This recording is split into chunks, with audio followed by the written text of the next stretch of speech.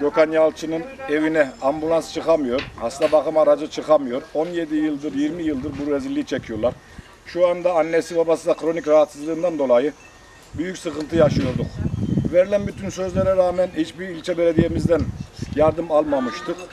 Büyükşehir Belediyesi'nin yapmış olduğu bu hizmetlerden dolayı çok teşekkür ediyoruz. Çalışan personellerine, çavuşlarına, amirlerine, müdürlerine, daire başkanlarına ve özellikle Sayın Vahap Seçer Başkanımıza çok teşekkür ediyoruz.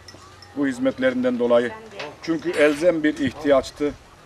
İnsan canı söz konusuydu. Böyle bir hizmete çok ihtiyacımız vardı.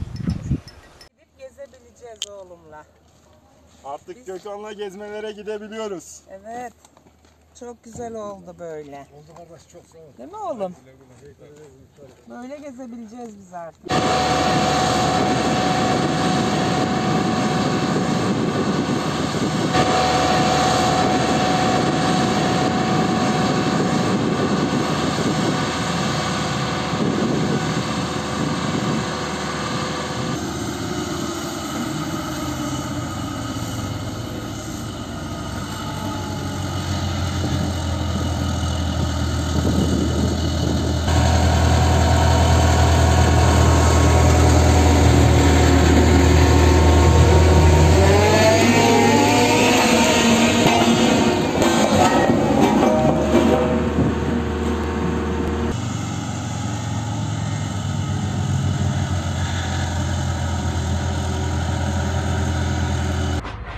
Evde bakım arabası ambulansın çıkamadığı yere omuzunda anasını babası da kronik hasta. Oğlum biz teşekkür ederiz başkanımıza. Allah razı olsun. Allah razı olsun. Çok teşekkür ediyorum. Bizi büyük bir dertten kurtardı.